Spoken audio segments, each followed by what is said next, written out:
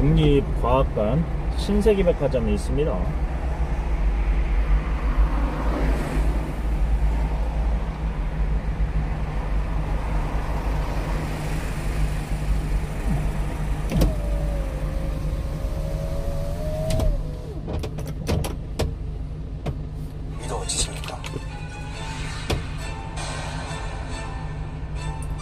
되면 뭐든지 했다고 볼 수도 있는데요. 실제로 그림을 그리는 일도 많았습니다.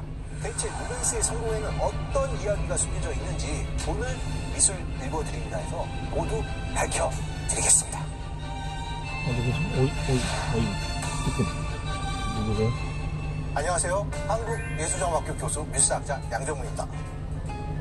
여러분, 예술가 하면 어떤 이미지가 떠오르시나요? 실제로 지독한 가난 속에서 예술의 불꽃을 피웠던 작가들은 동서양을 막론해서 쉽게 찾을 수 있는데요. 물감 살 돈이 없어서 밥을 굶으면서 물감을 사고 캔버스 살 돈이 없어서 작품 뒤에 다시 그림을 그렸던 고우가 있고요. 2천억짜리 그림을 남겼지만 평생을 가난과 취에 떨며 온갖 질병에 시달리다 생을. 마감한 모딜리아니도 있습니다. 그리고 너무 가난해서 담배 속 은박지에 그림을 그렸던 화가 이중섭도 있죠. 하지만 이들과는 완전히 반대로 아주 부유하게 살았던 예술가도 있습니다. 그림으로 돈을 너무 잘 벌어서 아예 성을 사버리고 평생을 귀족처럼 살고 죽어서도 귀족 대우를 받는 화가 실제로 영국 같은 국가에서는 그 화가의 앞에 써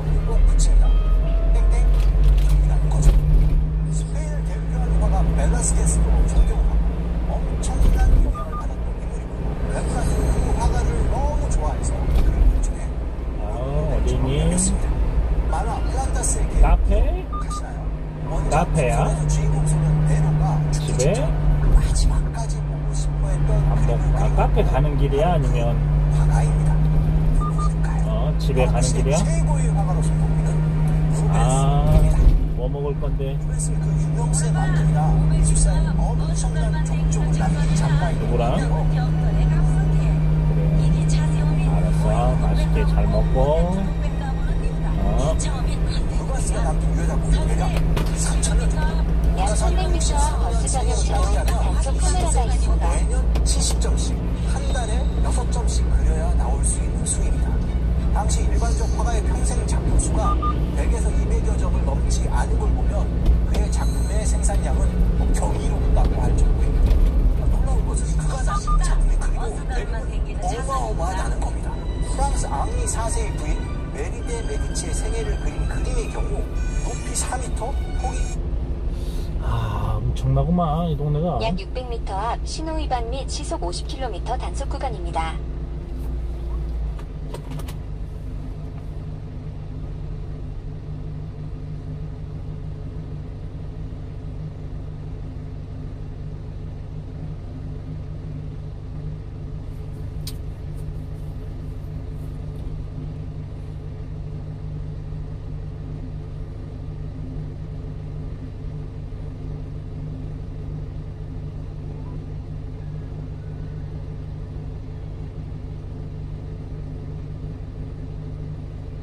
거의 어, 그 셋째는 뭐 롯데리아에서 밥 먹고 온다고 하네.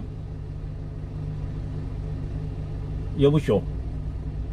어, 그럼 막내하고 당신하고만 밥 먹으면 되나?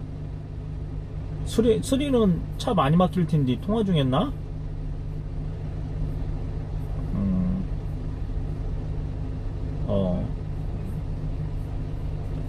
통화 중인가? 그, 전화 아까 했었는데 안 받길래 운전 중에 차가 많더라. 응? 음, 차 엄청 많더라고. 저기 뭐냐?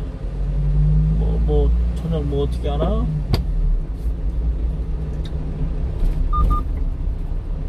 어, 차례마 지금 다 왔어 나 이제. 알았쇼, 쇼쇼. 50km 신호 위반 과속 단속 구간이오다야 내 핵심 없어